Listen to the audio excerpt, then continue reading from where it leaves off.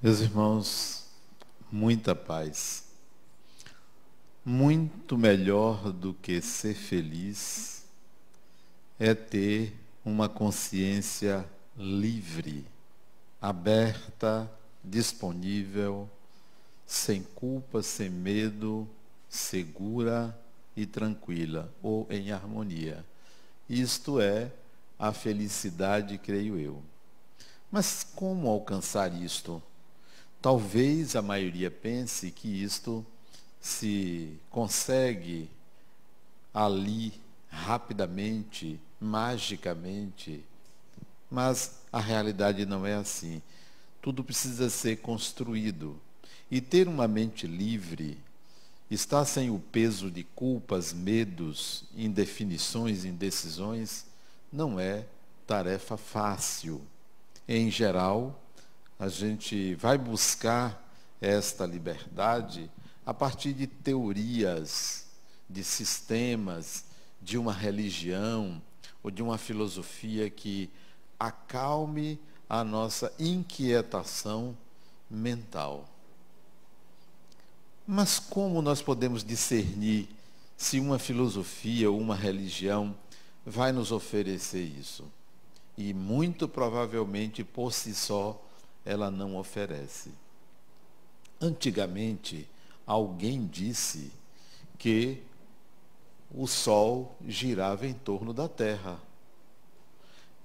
E para confirmar a sua fala, esse alguém disse: Foi Deus que me falou.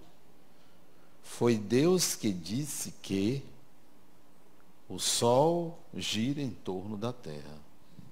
Como muito do que nós conhecemos, como muito do que nós sabemos, veio desta maneira e ainda vem desta maneira. Foi Deus que disse, foi Deus que impôs. E nós acreditamos, temos fé e seguimos assim, num processo aprisionador da consciência. Porém, alguém disse não. Eu observei, eu calculei, na realidade, o Sol não gira em torno da Terra. E é possível provar. Aquele que disse o contrário, que o Sol girava em torno da Terra e que foi Deus que revelou, procurou desacreditar aquele indivíduo que observou, que calculou e que provou desacreditar. Proibir que ele falasse. Proibir que o livro que ele explicava que o sol não girava em torno da terra, proibir que fosse editado, circulado, vendido, porque foi Deus que falou. Com o tempo, com a compreensão coletiva de que aquele movimento do Sol não indicava que ele estava circulando sobre a Terra, mas sim que a Terra é que estava rodando. Com essa compreensão, aquele alguém que disse que Deus falou, disse não, ele tem razão. Na verdade, Deus não falou isso. Aquele sacerdote é que estava errado, ele errou, não fomos nós foi um erro humano. Bom, então vamos entender algumas afirmações que você tem como verdades, porque alguém diz que Deus impôs e que é preciso você mudar. Alguém disse que Deus impôs que a reencarnação implica no esquecimento do passado. Deus impôs o esquecimento do passado. Você acreditou, você aceitou. Afinal de contas, isso vem de fontes fidedignas, como naquele tempo alguém disse que o Sol girava em torno da Terra e você acreditou. Então você acredita que reencarnação é igual a esquecimento do passado. Por quê? Porque Deus impôs. Mas alguém resolveu investigar isso e descobriu milhares de pessoas que se lembram do passado. Então, ou isto é verdade, pessoas podem se lembrar do passado, ou esta pessoa estava equivocada em afirmar isso, ou Deus não disse. Vamos aos fatos. Os fatos determinam a realidade e não a crença. A crença não determina a realidade. Então você vai se perguntar: peraí, mas eu não me lembro. Se eu não me lembro, Deus impôs. Isso é um silogismo, raciocínio equivocado, equivocadíssimo, limitador, consciência limitada pela crença. Então é preciso que você compreenda o que é a reencarnação. Porque o que você ouviu falar é que nós reencarnamos e esquecemos do passado e que Deus impôs, por quê? Porque se eu me lembrasse, eu não poderia conviver com quem foi meu assassino no passado. Essa é a justificativa maior. Impôs? Então agora nós temos decretos divinos que você tem que seguir sem saber que tem que seguir? Então vamos ver o que é isto. Quando eu comecei no Espiritismo, há muitos anos atrás, a reencarnação era um tema que fervilhava dentro de mim. O que é isto? Como é isto? Como acontece? O que é reencarnar? Tem uma biologia envolvida? Tem um mecanismo natural envolvido? Então, como é essa proibição? Ora, se eu reencarno eu estou desencarnado, sei do meu passado, como é que, ao voltar para um corpo, eu esqueço? O que é que se dá para que esse esquecimento aconteça? Então, eu era curioso em relação a isso. Comecei a estudar reencarnação. Isso, início, final dos anos 70. Muitos aqui não tinham nascido. Final dos anos 70. Comecei a estudar isso tinha um amigo, desencarnado já, aquela época, não desencarnado, ele era um livreiro. Olha como ele me tratava. Eu chegava no centro espírita, ele era o responsável pela livraria. Chegava para mim, Adenauer, eu selecionei um livro para você ler. Me cobrava, claro, eu pagava. Não me dava, eu selecionei. Aí eu comprava o livro e lia. Semana seguinte, Adenauer, eu selecionei um livro para você ler. Eu comprava e lia. Ele foi fazendo a minha cabeça em relação às descobertas. Aí eu disse a ele, fulano, eu estou estudando reencarnação. Disse, ah, eu vou encomendar uns livros para você. Ele me encomendou uma coleção desta altura, o livro de, os livros deitados. Deitados eram cinco livros que deitados tinha mais ou menos meio metro de livro. E que o livro em pé tinha mais ou menos uns 60 centímetros. Ele encomendou. Uma edição do Líbano, uma edição da Turquia, uma edição no Brasil, não, no Brasil não tinha não. Eram quatro países onde havia lembrança espontânea de crianças que lembravam de detalhes das encarnações passadas. E eu, caro na época, eu pedi para parcelar, parcelei e comecei a ler aqueles livros. E digo, como é? Quer dizer que uma criança se lembrou que na encarnação anterior ele matou a mulher dele com a mão direita, enfiando uma faca na costela, e ele nasce com essa mão atrofiada e sem uma costela, onde ele acertou nela. Que mecanismo é esse? Como se dá isto?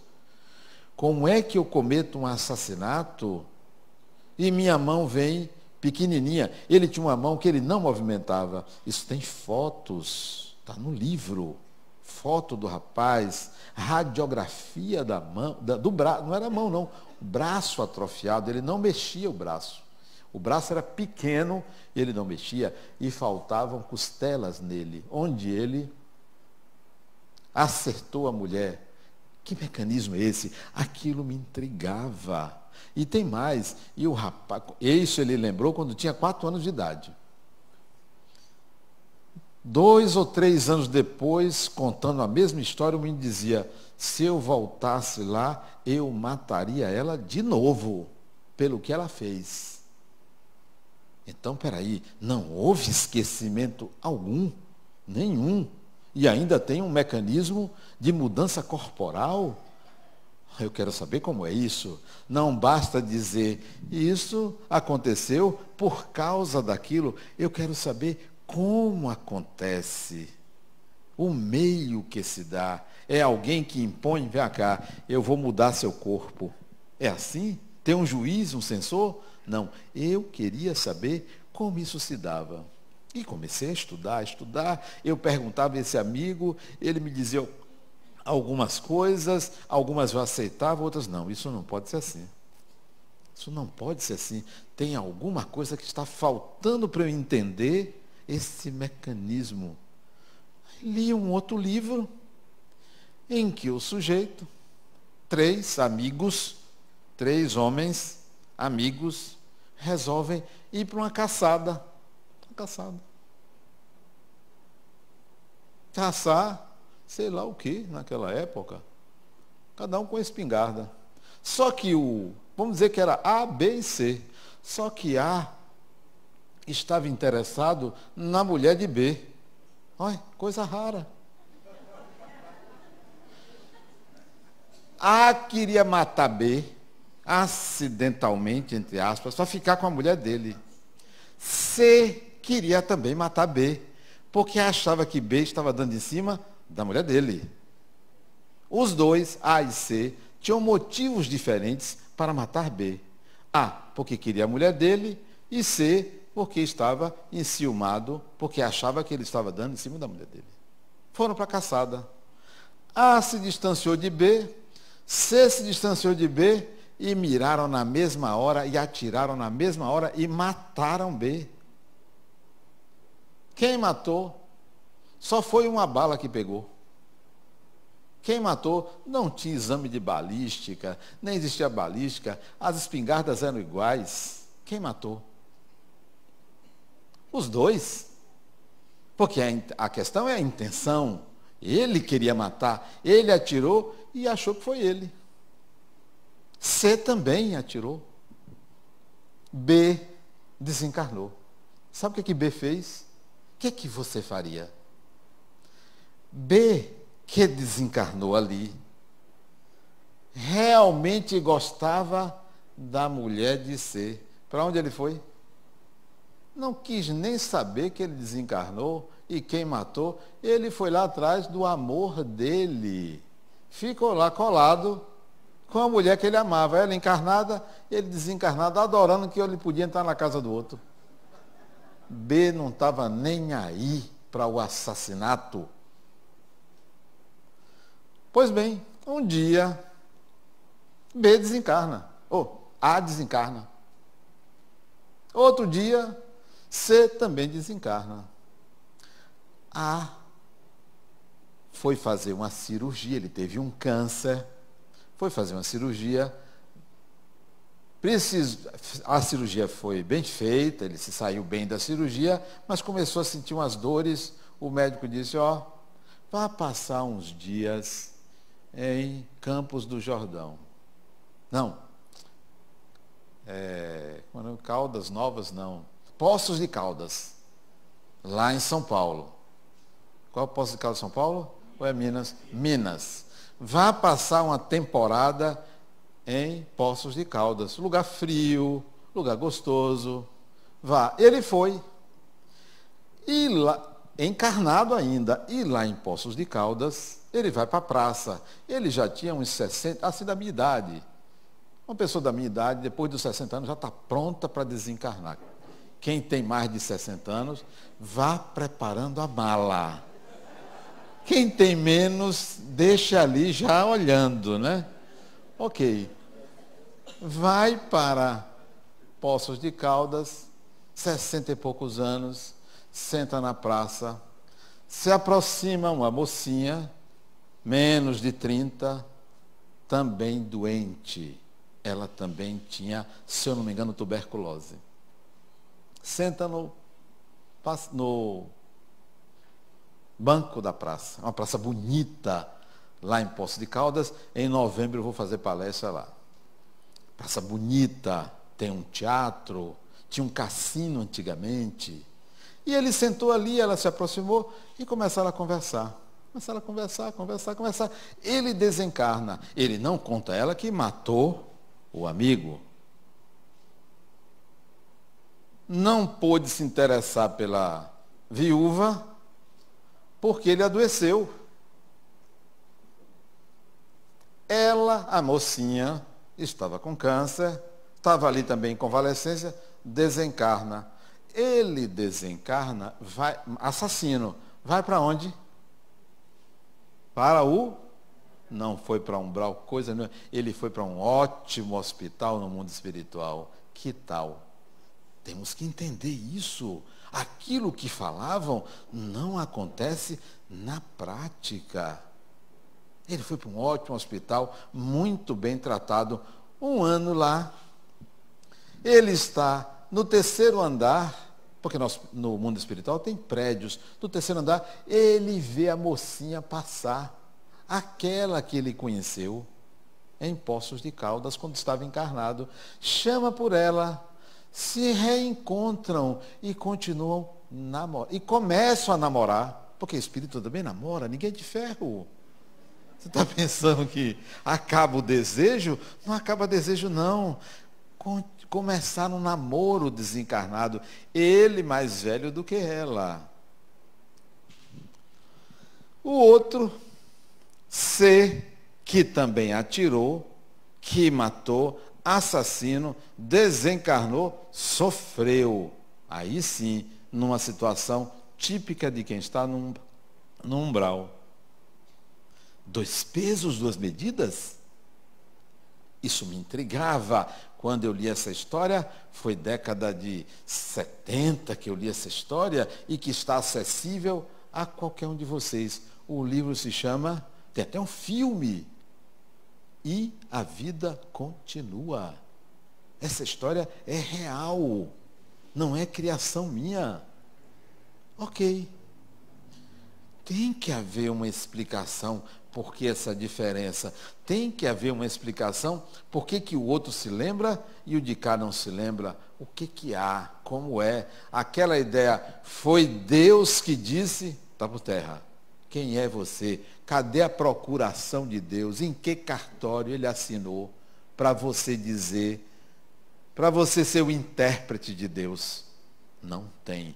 Então não é você. Eu não sou intérprete de Deus, eu sou intérprete de Adenauer. Não sou intérprete de Deus. Não sou intérprete nem de Allan Kardec. Quanto mais de Deus. Não, ninguém tem essa procuração para dizer foi Deus. Então eu fui investigar a reencarnação, comecei a pesquisar livros e mais livros, mandei buscar livros em boa parte do mundo para ler sobre reencarnação. E li, e li. Isso já na década de 80. E fiz experiências de regressão de memória. Entrevistei crianças. Uma vez eu fui à Feira de Santana, me lembro como se fosse hoje. Não, Conquista. Isso já foi. Feira de Santana foi outra criança. Conquista. Me lembro deste caso porque o garoto nasceu no mesmo dia e mês que eu nasci, ano diferente.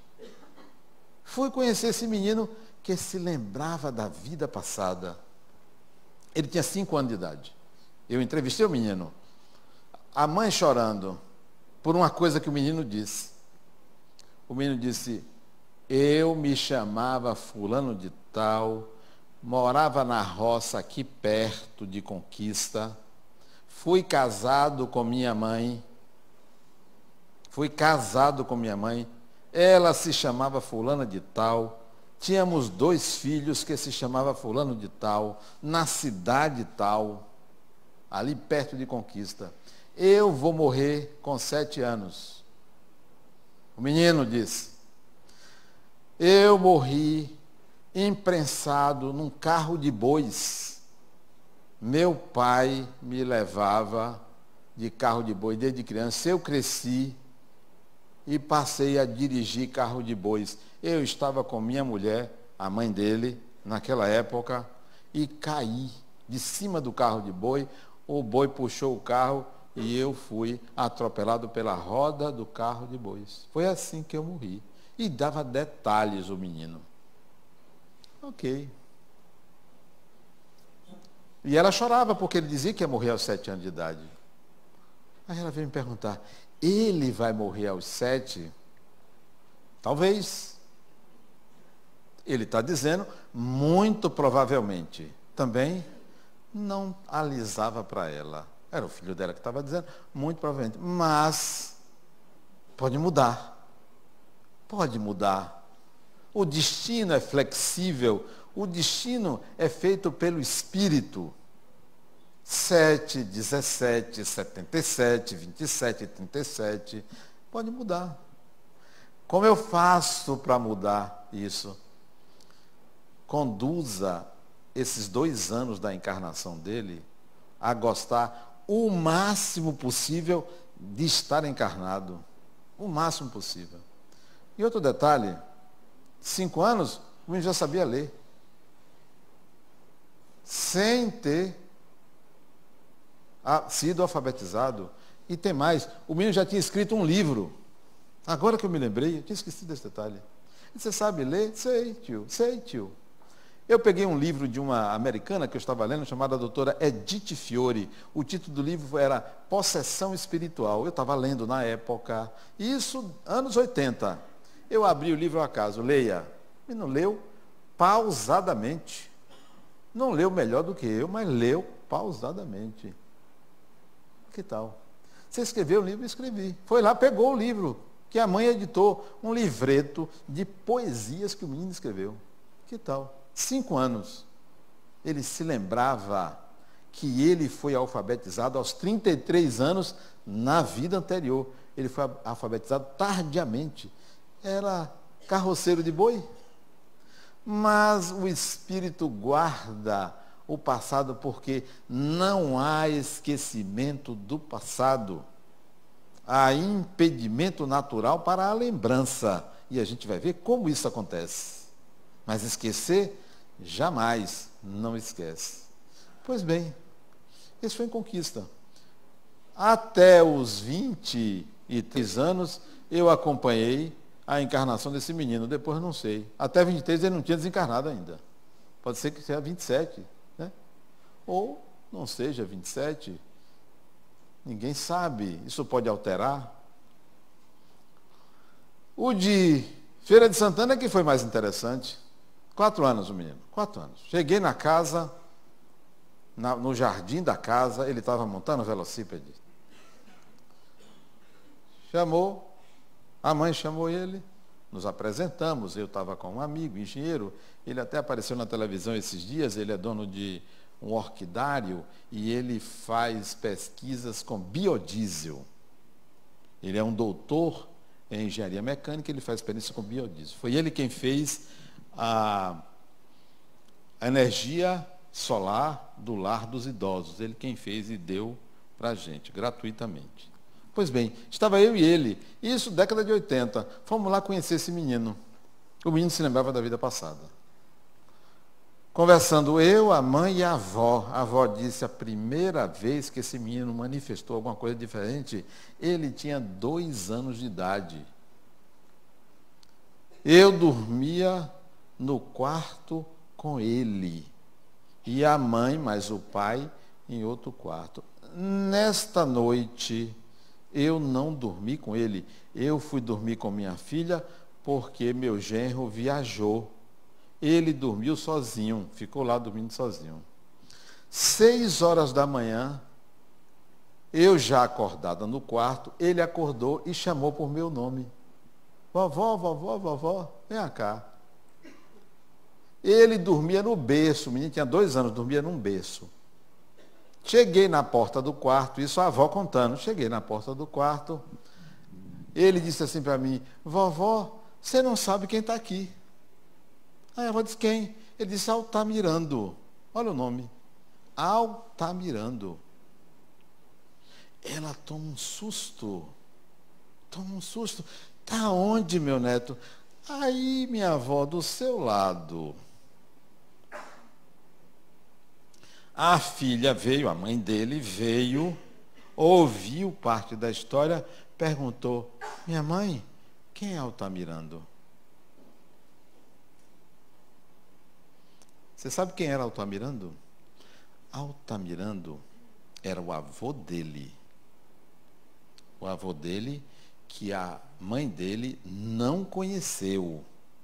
Não conheceu, porque ele morreu de ranceníase logo após a gravidez da filha.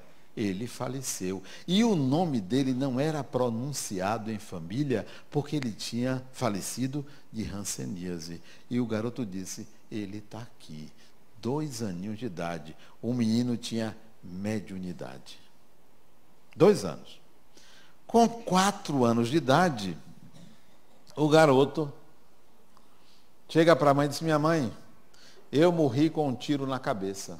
Dois tiros, minha mãe. Eu era um policial aqui em Feira de Santana. Ora, podia ter assistido um filme. Levei dois tiros. Eu estava perseguindo um bandido, ele me encurralou, me deu um tiro, pegou aqui, ó, minha mãe. Eu caí, ele deu um segundo tiro aqui, minha mãe, ó. O menino tinha uma cicatriz aqui, de nascença, e tinha uma cicatriz aqui de nascença, e tinha uma outra onde supostamente a bala, a primeira bala sai, caiu, saiu. Ele se lembrava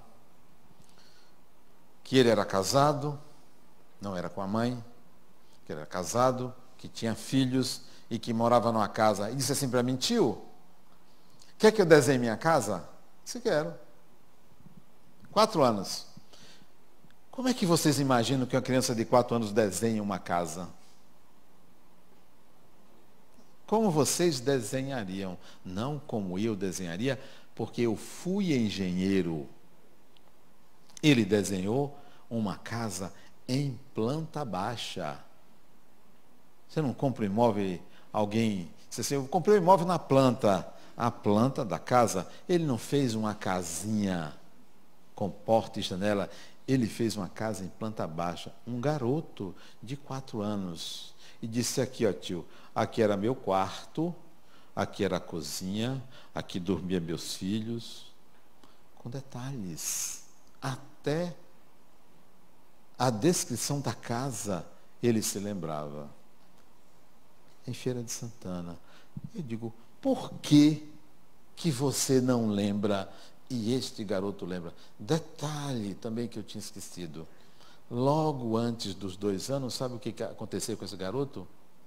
Ele tinha uma síndrome que fazia ele ter convulsões diárias. Ele tomava remédio controlado por causa das condições, das convulsões. E o médico disse ele tem uma cicatriz cerebral. Esse garoto. Uma cicatriz cerebral. Esqueci o nome da síndrome, tem convulsão direta. O que, que acontece? Por que, que uns lembram e outros não lembram? Ou será que por que, que uns esquecem e outros não esquecem? Eu vou dizer, ninguém esquece. Ninguém esquece. Segundo, todos podem lembrar. Alguns se lembram por um mecanismo natural. Isto é reencarnação. Reencarnação. Como se dá? Quando você tem um sonho, Você tem um sonho. Alguém aqui sonha?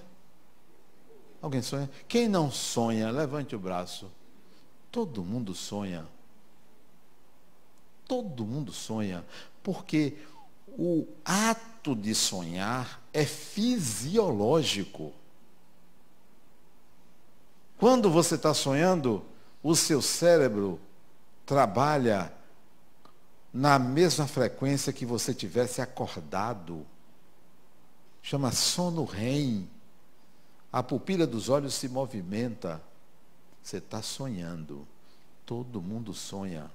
De quatro a seis sonhos por noite de oito horas de sono. De quatro a seis sonhos por noite. Cada sonho durando entre meia hora e uma hora e meia cada sonho. No entanto, você lembra de um pedaço. Quando lembra, mas sonha. Sonha. O conteúdo do sonho é psicológico ou espiritual. O ato é fisiológico porque há uma alteração orgânica. Pois bem. Por que que não lembra? Sabe por que não lembra? Porque não foi este corpo que viveu aquela experiência. Não foi esse corpo. O corpo. O outro sonha que pula de um avião sem paraquedas e desce flutuando num resort e que ali ele encontra a mulher amada dele. Possível isso? Não. Mas no sonho acontece porque é simbólico. Na prática, ele pulou de avião? Não. Não foi esse corpo que executou. Ele caiu no resort? Não. Encontrar a mulher amada é um em um trilhão que encontra. Quantos trilhões nós somos? Não somos trilhões, então ninguém encontra. Se esse corpo não executa, não há uma memória corporal. Você não lembra porque não foi executado por este corpo. O que é executado por esse corpo é passível de lembrança imediata. Quer ver? Esse corpo, com três meses de nascido, esse corpo mamou no peito da mãe. Lembra? Não lembra. E foi esse corpo que executou. Por que não lembra? Porque isso não estava registrado numa memória corporal orgânica, porque não havia sinapses capazes de registrar isso e guardar. À medida que o cérebro vai se desenvolvendo, você aí ganha memória executa sinapses, isso fica registrado, isso está gravado num aparelho aqui chamado córtex cerebral. Pois bem, você vai desencarnar, porque ninguém fica. Ninguém fica. Vai todo mundo. Todo dia morre gente. Um dia vai você, outro dia vou eu. Ou primeiro eu, depois você. Todo mundo vai. Eu fico feliz quando a pessoa desencarna, sabia? Fulano morreu. Que bom. Que ótimo, né? Vai embora. Desencarnou. Desencarnou. Ah, porque não é você? Cada um tem a sua dor. Cada um vive a sua experiência. Mas é uma coisa gostosa ver uma pessoa ir embora, desencarnar. Vai, foi. Porque viver também cansa. Não pense que é uma coisa assim. Não, é ótimo. Quem aqui não cansa? Me diga. Agora fica ali desesperado, querendo viver, mas cansa. Chega um tempo que o espírito, ó, eu quero ir agora. 80 anos, 90 anos. 90 anos é teimosia, né? A pessoa fica aqui, teimosia, deixa a pessoa ir embora. Está na hora, já passou. Então, você vai desencarnar. Você está aqui nesse auditório. Daqui a 50, 60, 70 anos, você vai reencarnar. Vai lembrar disso aqui? Está aqui, você está aqui agora. Está aqui vendo essas pessoas. Está vendo essa imagem? Está lembrando da palestra? Tudo iluminado. Vai ver depois no computador, no celular, a palestra de novo, grava tudo. Eu nunca vou me esquecer daquela frase que ele disse. Por que não lembra? Por que não lembra? Aonde isso fica registrado? Primeiro nesse córtex, isto é, nesta consciência que grava tudo. Tudo. Nada passa despercebido. Você pode não ter acesso imediato pelo ego, mas está sendo gravado. Isso é igual uma esponja. Nós estamos gravando tudo o que está acontecendo aqui. Ok, por que não lembra? A reencarnação é um processo interessante. Você sai desse corpo. Sai desse corpo e vai se distanciando dessa sociedade. Não vai vir aqui toda quinta-feira no centro, nem quarta, nem sexta. Você encontra uma outra realidade e vai se distanciando dessa, como aqui ninguém se lembra do que fez aos três meses de nascido, aos quatro meses, nem um ano. Tem gente que só lembra cinco anos, seis anos. Não lembra. Então você vai se distanciando desta encarnação. Vai naturalmente jogando no inconsciente, esquecendo. Mas está gravado. Aonde? Não apenas nesse corpo, num outro corpo chamado perispírito, ou mente, está gravado na mente. Na mente. Está gravado. Está gravado, estava lá gravado que ele foi carroceiro de boi. Está gravado lá que o outro foi policial. Está gravado lá que o outro matou lá B para ficar com a mulher dele. Está lá gravado, está tudo gravado, tudo está gravado. Mas você está se distanciando dessa vida. Chega o tempo de reencarnar. Aí você sabe que vai nascer em tal cidade, que seus pais, fulano, ciclano, há uma espécie de planejamento, de prévia de possibilidades, porque ninguém garante que vai ser daquela forma. Ó, se der certo seu pai e sua mãe, se ela quiser, geralmente é ela quem determina, você vai reencarnar. Ok. Aquele personagem, este personagem, este daqui, é um personagem, não é o espírito. É um personagem.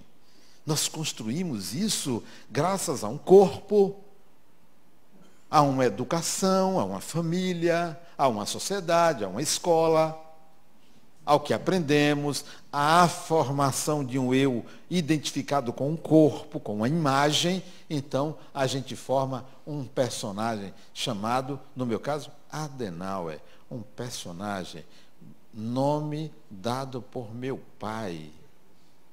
Nome dado por meu pai. Olha lá. E construí esse personagem.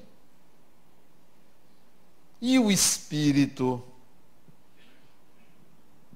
então, nessa encarnação, eu vou desencarnar. Daqui uns dias. Mil dias, dois mil dias, cinco mil dias, vou desencarnar. E vou renascer, digamos que eu renasça aqui em Salvador. Ali, naquela região umbralina chamada Pituba, reencarne ali. Porque aquilo ali, eu não sei como a pessoa mora ali, viu? Mas tudo bem, eu já morei ali.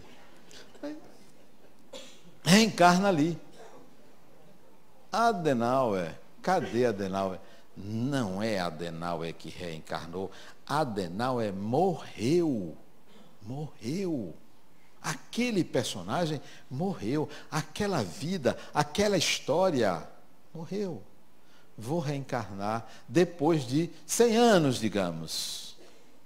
Digamos que eu desencarne em 2018, hoje, e vá reencarnar em 2018 mais 100, dá quanto? 2118. Vou encontrar outra sociedade, outra sociedade. Outra história, outro personagem. Então, não foi Adenauer que reencarnou. O espírito que naquela encarnação tinha aquela personalidade, aquele personagem, reencarnou e vai construir outro personagem. Outro personagem. Então, aqui está você. Você não reencarnou, não. Você construiu um personagem. Agora, o espírito que você é, é que reencarnou. É que voltou. O personagem é esse aí. Por isso que você não lembra. Não foi você que viveu aquilo. Está no seu perispírito. Porque na hora que o perispírito se acopla ao óvulo fecundado que nidou e grudou na parede do útero, naquele momento inicia a reencarnação.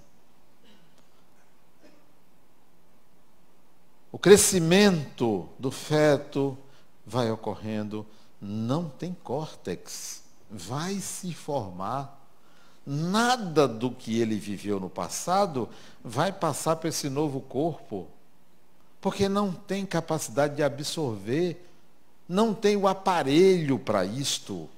Não é porque Deus impôs, você vai esquecer, não. Não é possível esta passagem. Está gravado.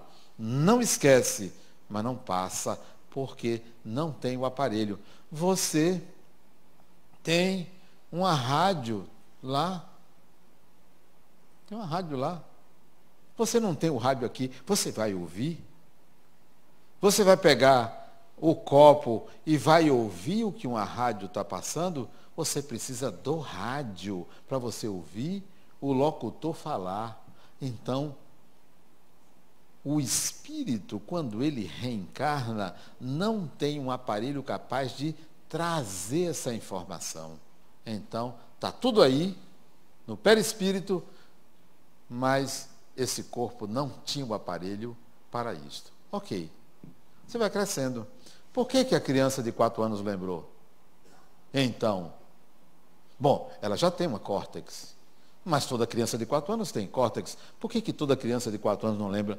Porque aquela criança lembra marcadores reencarnatórios. Existem marcadores reencarnatórios.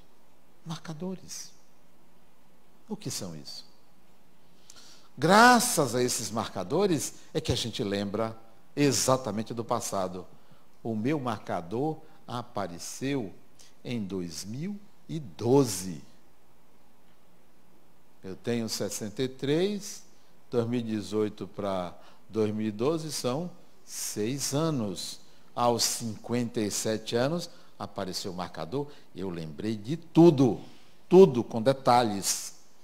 Aquela criança foi aos quatro anos, a outra aos cinco anos.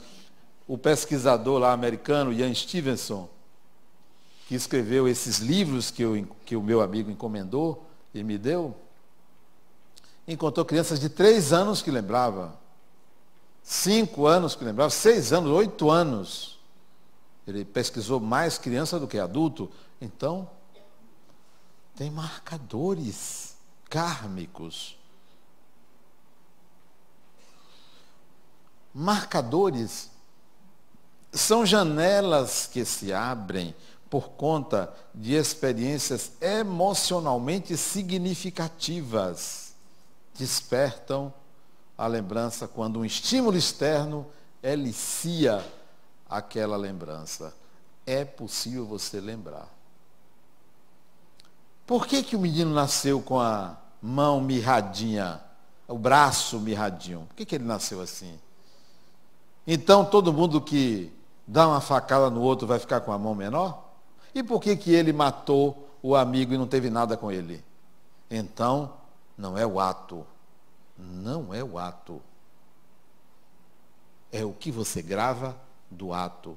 É a consideração sobre o ato.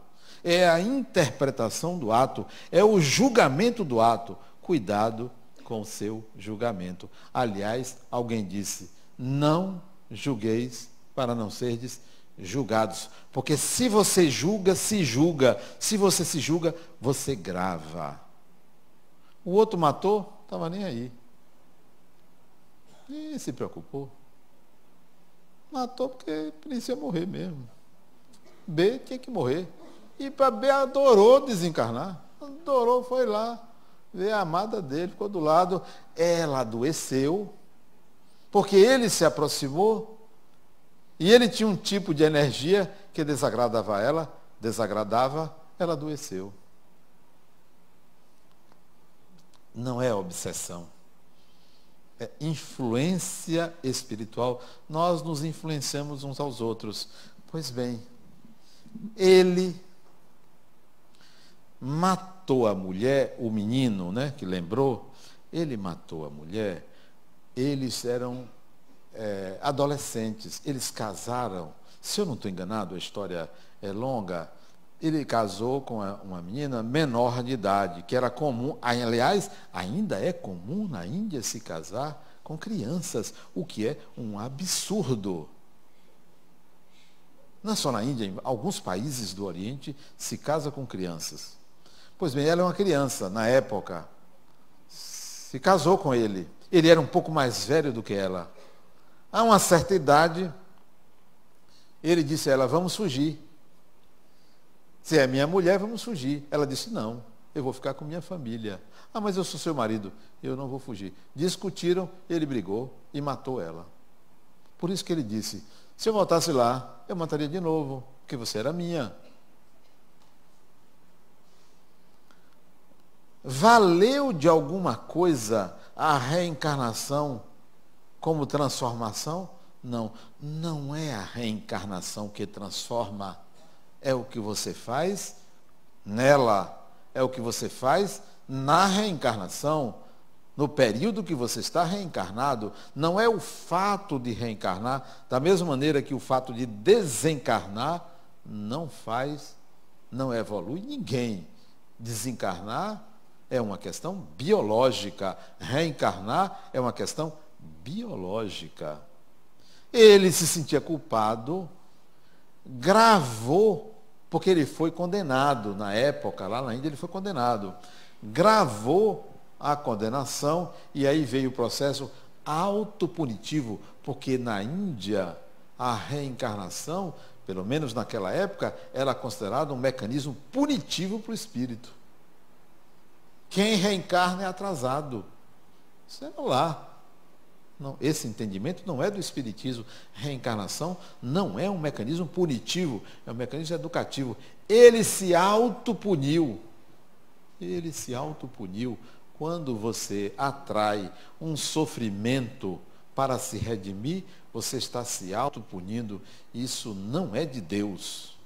Não queira sofrer, não aceite o sofrimento como meio de evoluir. Não pense que ser vítima vai lhe trazer qualquer vantagem evolutiva. Tem uma pessoa, ó oh, Senhor, me ajude porque eu estou sofrendo. E tem um outro lá jogando na loteria.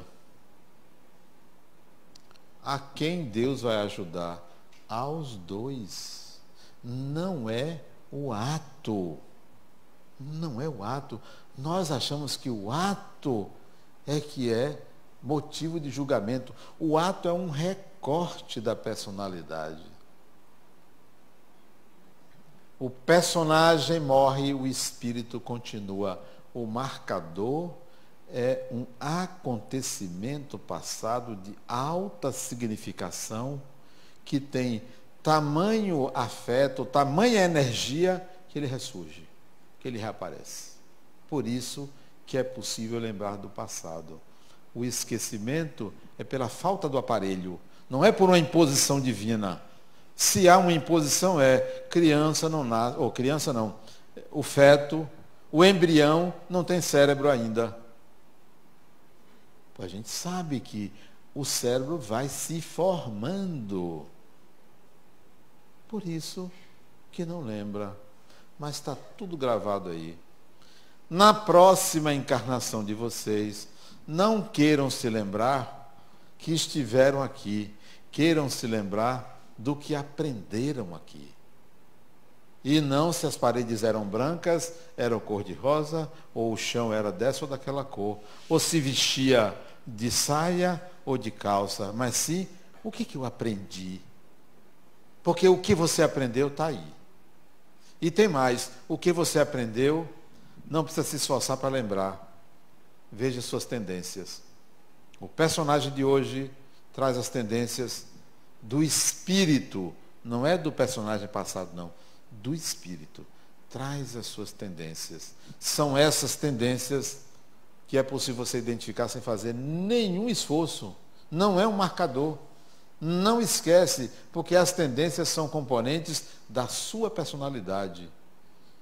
E uma nova personalidade, nova encarnação, as tendências vão continuar, vão ser consolidadas, vão reaparecer, outras vão ser incorporadas, porque o espírito não consegue deixar de mostrar suas tendências. Não consegue deixar de mostrar. O personagem tem comportamentos. O espírito tem tendências. O comportamento é do personagem. Você quer ver um comportamento?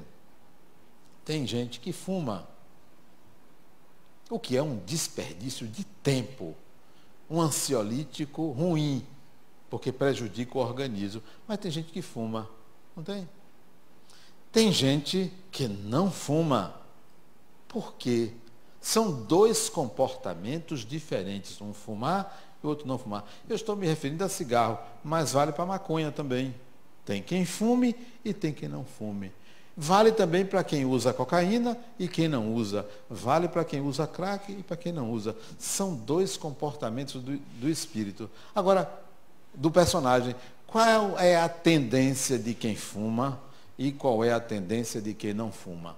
A tendência de quem não fuma é esse lado de cá, que não fuma, é a tendência de dizer, eu preciso de energias para viver. A tendência de quem fuma é, eu posso gastar energia a hora que eu quero. Gastar, gasta energia, perda de tempo. Há uma certa indolência no viciado, porque para ele é mais importante o prazer do que a disposição de viver, do que resolver conflitos. Ele prefere o prazer. Ó, oh, está ali, puxando o fumo dele, cheirando a cocaína dele, fumando o cigarro dele, para matar o tempo, para esquecer os problemas. Então, a tendência desse personagem é a indolência. Tem o hábito de matar o tempo por causa do prazer, porque foge de conflitos. E o grupo de cá, que já aprendeu, peraí, eu posso até fazer uma vez nenhuma dessas coisas, mas algo que eu tenha vontade, eu posso até fazer uma vez, mas eu levar a minha vida, eu fazer uma segunda vez, uma terceira vez, eu não vou, eu não sou bobo, eu não vou ficar perdendo tempo. Eu vou enfrentar a vida, eu não vou me esconder do viver. Então, a tendência é do espírito, o comportamento é do personagem. Procure ver quais são as suas tendências você vai enxergar o Espírito. Muita paz.